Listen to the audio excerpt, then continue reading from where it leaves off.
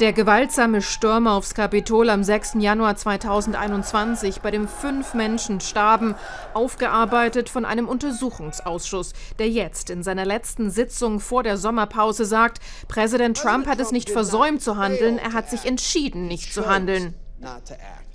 Im Fokus der Anhörung im amerikanischen Abendprogramm 187 Minuten. So lange soll Donald Trump nichts getan haben, um seine Anhänger zurückzurufen gegen den Rat seiner Kinder und Berater. Er schickte aber Tweets raus, die die Menschen aufhetzten, und er brachte seine Unterstützung für den Wunsch einiger zum Ausdruck, die Vizepräsident Pence töten wollten. Jetzt bekannt, die Beschützer von Mike Pence sorgten sich um ihr eigenes Leben, wie jetzt ein der Öffentlichkeit unbekannter Zeuge aussagt. Manche tätigten Anrufe, um sich von Familienmitgliedern zu verabschieden. Pences Personenschutz dachte, das kann ganz übel werden.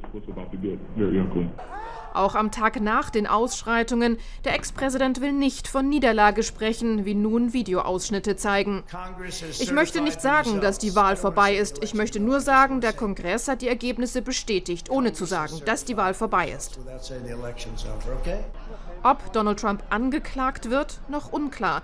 Das entscheidet der Justizminister, nicht das Komitee. Die nächsten öffentlichen Anhörungen sind hier für September geplant.